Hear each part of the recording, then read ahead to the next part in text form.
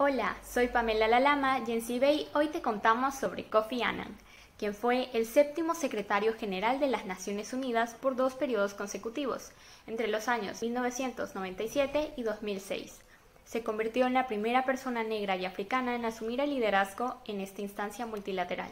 Kofi Annan nació en 1938 en Kumasi, Ghana, y falleció en 2018 en Berna, Suiza. Entre sus aportes destacan la presentación del Plan Renovación de las Naciones Unidas, y cuya ejecución continúa en el presente.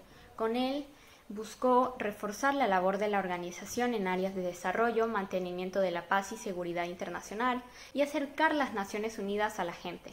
También trató situaciones políticamente sensibles, como las iniciativas diplomáticas de 1999 para forjar una respuesta internacional a la violencia en Timor Oriental y la certificación de la retirada de Israel del Líbano en septiembre del 2000.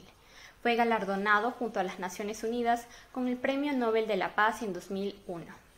Cuéntanos si sabías sobre este personaje y recuerda seguirnos para más contenido.